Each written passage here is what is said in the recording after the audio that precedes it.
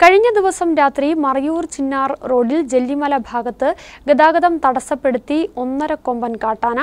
എട്ടു മാസം മുമ്പ് പുതുക്കോട്ട സ്വദേശി അക്ബർ അലിയെ ഈ ഭാഗത്ത് വെച്ച് കുത്തിക്കൊന്നതിനു ശേഷം അപ്രത്യക്ഷനായ കൊമ്പൻ വീണ്ടും ഇപ്പോഴാണ് റോഡിൽ എത്തിത്തുടങ്ങിയത്.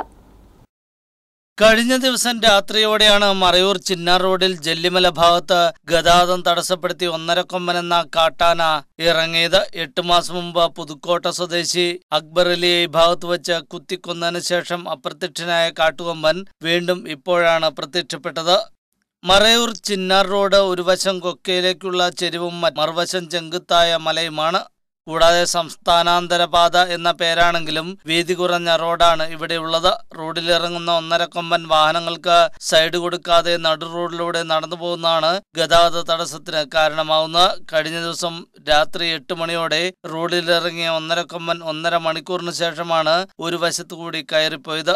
ഈ സമയത്ത് ഇതുവഴി വന്ന വാഹനങ്ങളെല്ലാം കുരുക്കിലകപ്പെട്ടു. ചിന്നാർ വന്യജീവി സംഘത്തിലെ അധികൃതരെത്തിയാണ് വനത്തിനുള്ളിലേക്ക് ആനയെ കടത്തിവിട്ടത്. Chandrasekharan Anchanad news bureau Marayur.